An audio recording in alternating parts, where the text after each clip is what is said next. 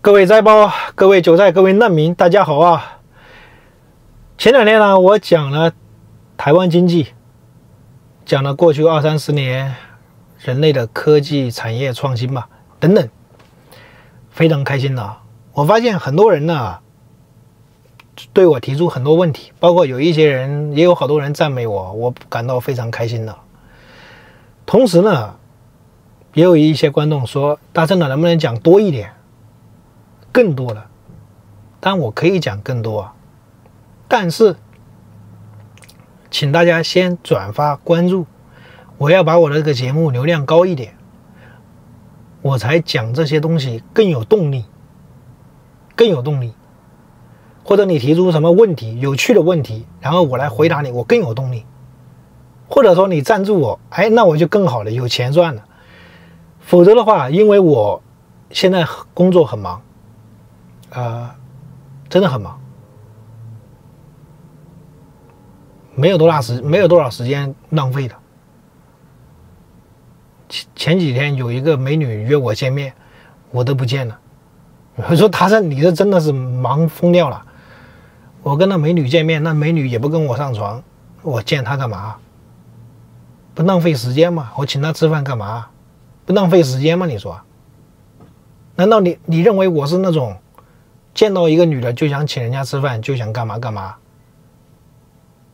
就是我不是那种人呐，是不是？见到一个女的就要追求啊，疯了！好，我现在讲这个讲这个评论，这个评论很有意思。这个人说什么？说其实大部分人的意思都懂，就是美国拥有世界上最多方面优。的优势，他独霸，他是世界第一强国，所以世界民主国家马首是瞻，这都没问题。问题在于你凸显美国的伟大，把具不具备那么多优势产业的国家，特别是民主国家，推定为美国附庸，靠美国施舍，自己没多大前途。说这不就是小粉红的见识吗？日韩台、英法德。加拿大、澳大利亚、新西兰，不是美国的附庸吗？你告诉我，事实就是这样。你敢反对美国吗？英国能吗？法国能吗？德国能吗？欧洲能吗？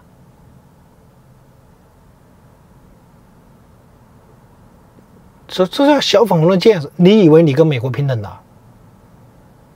那我跟你讲事实，你跟我说这是小粉红的见识，有病！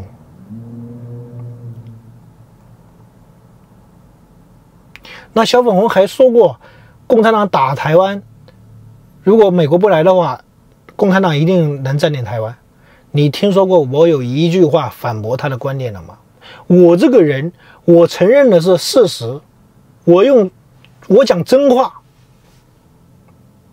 我不会跟你讲台湾放心吧，台湾的军事力量可以打败中国的，共产党来不怕了，可以打败共产党了，就靠就靠台湾能够打败了，那不是骗你的吗？是不是骗子？如果我跟你讲这话，你觉你认为我是不是骗子？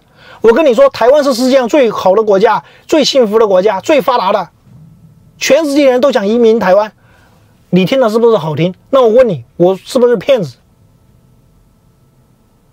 我说过，台湾是比中国发达，比中国自由民主、幸福，人民活得好。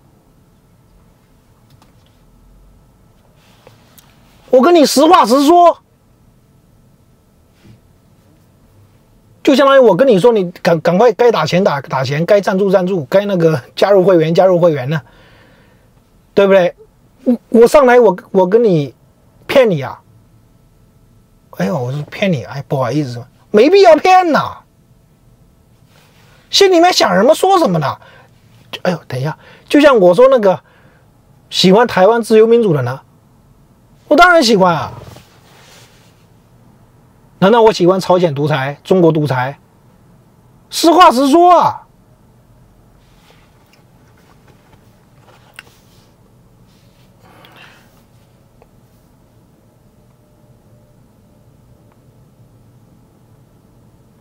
你想想我讲的是不是实话？哪一句是假的？我需要骗你吗你告诉我。就是我这么诚实的人，这么真实的人，竟然还整这个留言给我震惊了。然后下面还有一个，下面还有一个，下面还有一个，他说。例如，台湾没有的台积电就是马来西亚，真的是这样吗？像马来西亚真的那么不堪吗？一个国家条件不像美国，就没有理由活得有盼望吗？台湾当然很荣幸有台积电，但没有的话就死路死路一条了吗？请问释小龙时代有台积电吗？至于没台积电，台湾就完蛋了吗？我进来讲一下。四小四小龙时代，你没有台积电，你之所以能成为四小龙，是因为那是一九八零年代，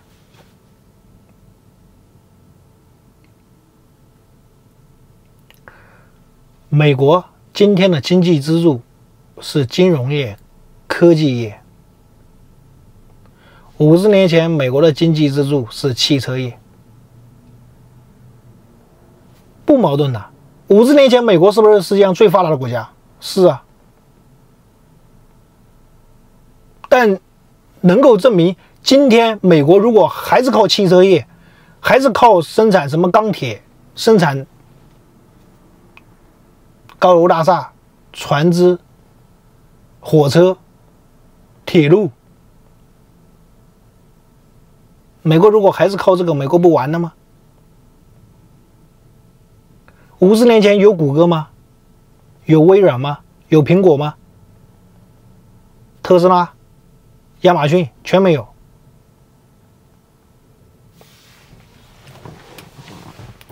时代在发展，你用进步的眼光去看变化，这个世界在变化之中。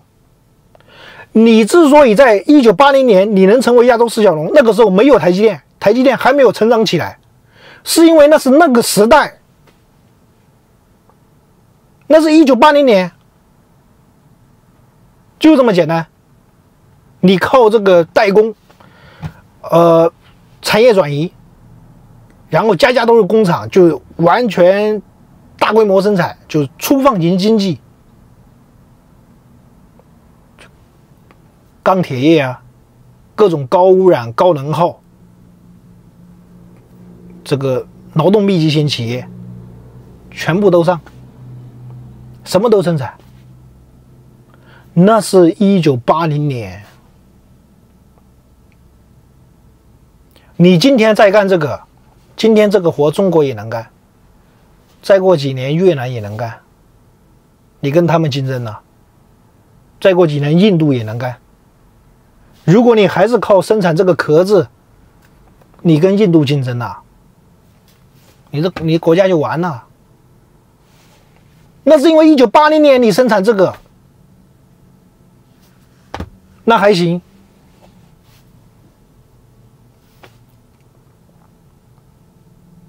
说四小龙时代有台积电嘛？如果你的产业永远都像一九八零年一样，你真的就完蛋了，就像墨西哥的呢。墨西哥就是失败的例子，它没有上去。原来墨西哥是比台湾发达的。我昨天我讲了说，墨西哥一九八零年发生了什么？许多人不了解，许多人今天一想到墨西哥，全是毒贩、非法移民、偷渡到美国。你的这种印象，基本上是在最近三十年、四十年，因为墨西哥在一九八零年代经济崩溃了。为什么崩溃？美国二战结束之后，产业转移，大量的产业就近转移到了墨西哥，呃，有的就到日本、到欧洲。墨西哥从一九五零年到一九八零年，经济高速增长，高速增长，但是它没有完成产业升级。就像台湾，台湾如果今天没有台积电，产业不升级，还是靠生产个螺丝，生产个什么？呃，方向盘生产汽车、汽车零配件，生产什么碗、塑料，还是靠那个，台湾你就完了，你就是墨西哥了，工资永远涨不上去。当时产业转移，就亚洲四小龙起来的时候，就是产业再次转移的时候。一九五零年、六零年，美国产业转移到了欧洲、日本、墨西哥。到一九七零年、八零年开始转移到亚洲四小龙。这个时候，墨西哥的产业呢也走了，也走了，因为到台湾、到韩国了。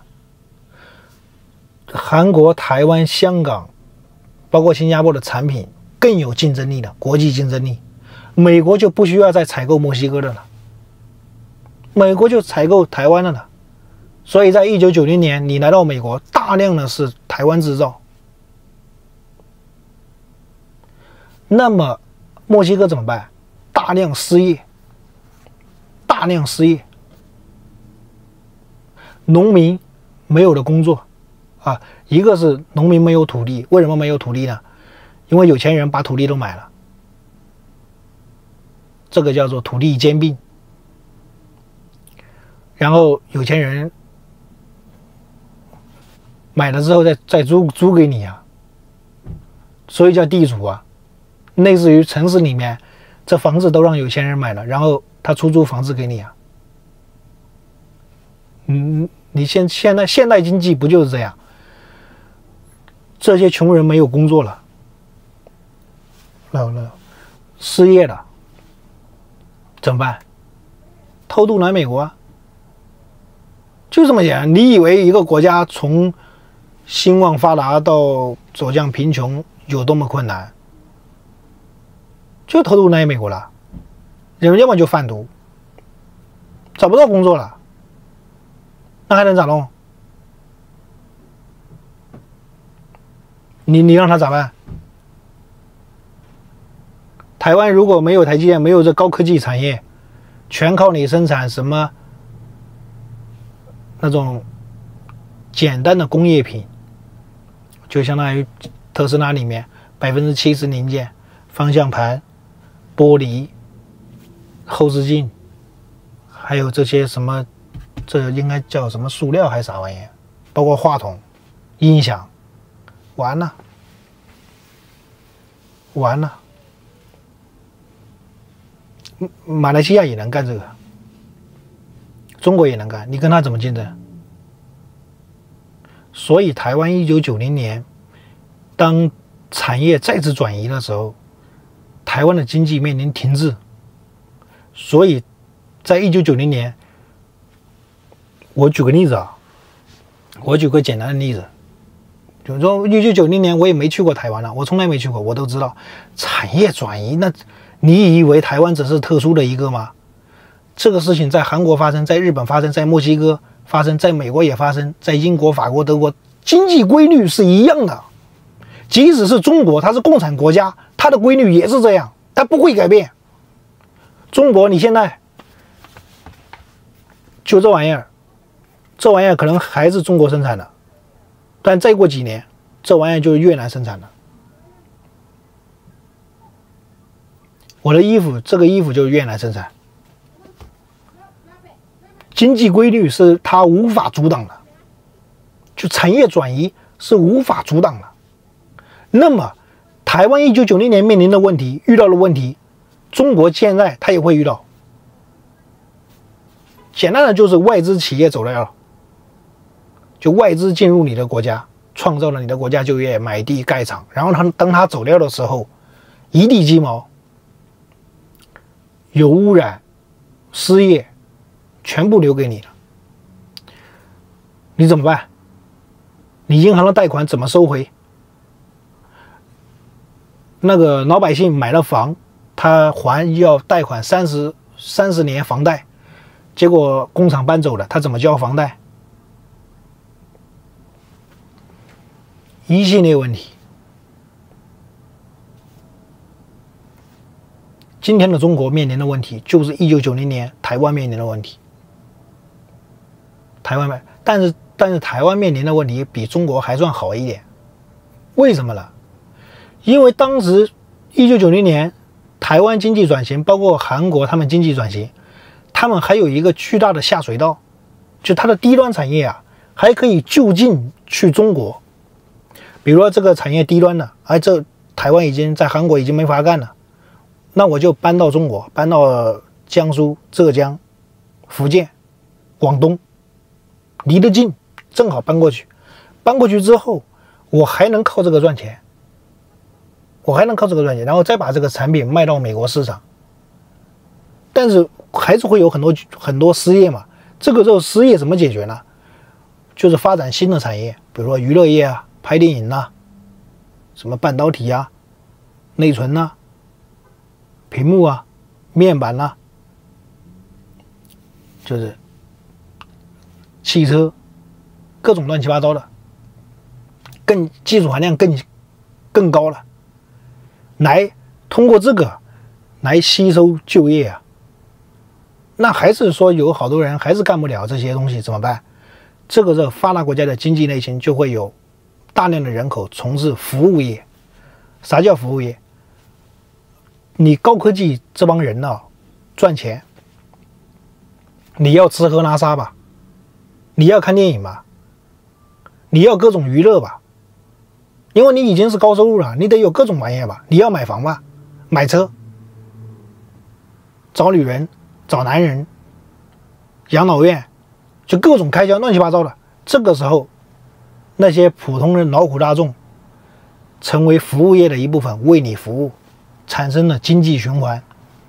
除美国之外的所有国家都是这种经济循环，都是从赚外汇，美元，有了美元。进入这个国家经济体系循环，全这样，所有国家都这样，所以美国是核心呐，中心呐。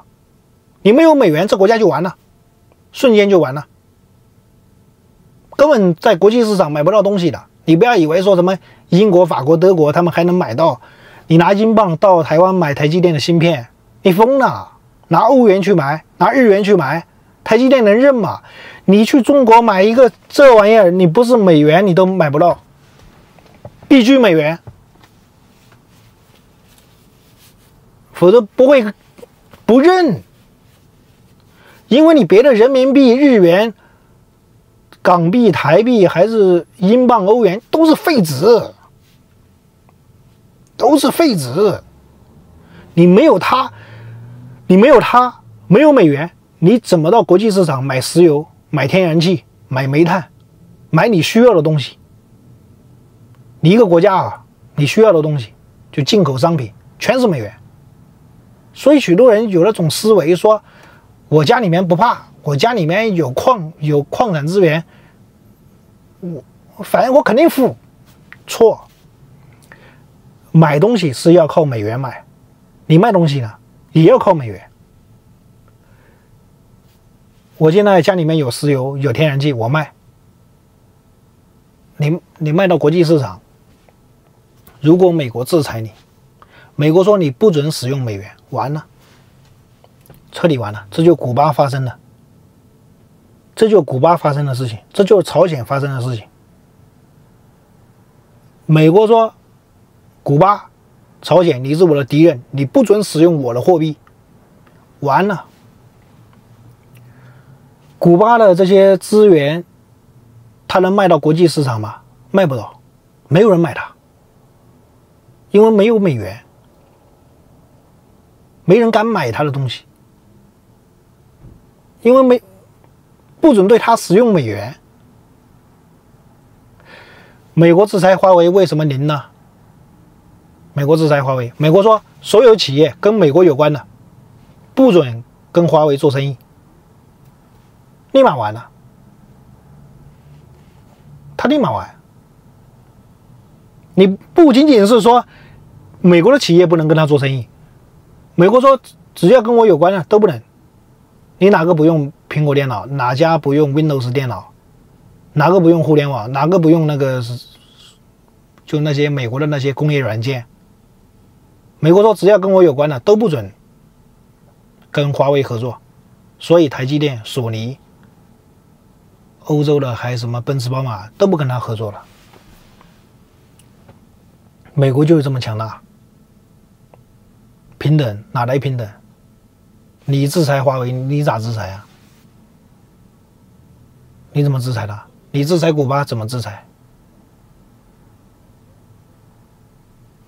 你怎么制裁？之前讲那个叫做面板产业嘛，那个我说错了，说错对象了。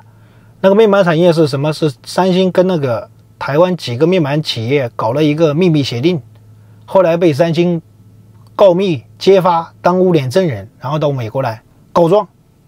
就因为这个事情，美国把台湾几个高管给抓起来坐牢了。为什么美国有这个实力呀？你让墨西哥搞个反垄断法，抓你坐牢能吗？美国不仅仅对台湾、对韩国这样，美国对法国企业、德国企业、英国企业、加拿大企业全这样，全是这样的。美国，你不要以为美国就制裁中国，天，美国就制裁朝鲜、古巴。你活在这什么样的世界中？美国，美国制裁了加拿大，加拿大庞巴迪。庞巴迪是干嘛的呢？是加拿大那个一个黄金企业吧，就明星企业，造飞机的，被美国制裁。被美国制裁之后，他就彻底完了。美国市场拒绝他，对他征收高额关税，瞬间他就完了。因为美没有了美国这个大客户，他就完了，就完了。就像台积电的呢，美国假设对台积电进行制裁，说不准买台积电的东西，不仅仅我不准买，所有跟我有关的都不准买台积电的，不准台积电使用美元交易，瞬间它就完了。就今天它还很好，它是世界上最厉害的企业之一，明天它就完了。那美国可不可以？美国总统就一个命令制裁，可不可以？美国法律赋予美国总统这个权利。真的，总统，美国总统对华为制裁就是这样，行政命令下来就可以了，对你征收关税，对中国征收关税，对哥伦比亚征收关税，美国总统的权利，这是他的权利，所以他他们他一句话就可以改变你的命运。美国总统，人家说过一句笑话嘛，美国总统不能够改变任何一个美国人的命运，但是他可以改变地球。外国人的命运，地球上那另外一个国家的命运，他一句话就可以，他可以，美国总统他可不可以改变中国人的命运？日本人的命运，英国人、法国人、德国人、加拿大人的命运，可以啊。他一个命令，对加拿大的商品增加关税，哇，瞬间的就完了，他那个产业瞬间就完了。没有竞争力的，没有，而且一旦美国对你增加关税了，所有别的企业主动跟你保持距离，因为他，因为他一看知道你被美国给盯上了，因为我要再跟你合作，我这个风险就高了。